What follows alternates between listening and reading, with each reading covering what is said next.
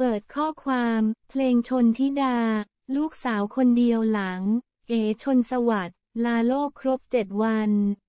เป็นความสูญเสียครั้งใหญ่ของตระกูลอัศวเหม เมื่อ เอชนสวัสดิ์อดีตนายกองค์การบริหารส่วนจังหวัดสมุทรปราการ ได้เสียชีวิตโดยตระกูลอัศวเหมได้จัดงานศพณ บ้านขาวริมอ่าวเจ้าพระยาท่ามกลางนักการเมืองและเหล่าคนในวการบันเทิงที่เดินทางมาร่วมแสดงความเสียใจจออาทิ นกสิงใจ เบ็กสันชัย จินจริน ปีเตอร์ขอบ และอื่นๆ และต้องบอกว่าเป็นวินาทีสุดเศร้า เมื่อ ตู่นันทิดา นั้นสุดกลั้นหลังร้องเพลงให้ เอ ชนสวัสด ฟังครั้งสุดท้ายโดยลูกสาว เพลงชนทิดา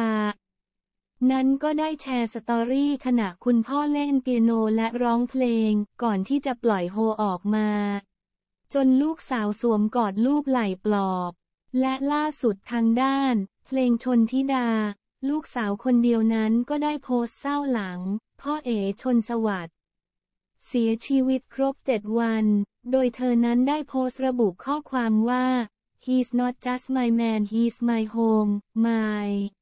rest my heart and my safe place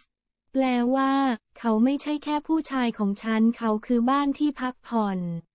หัวใจของฉันและสถานที่ปลอดภัยของฉัน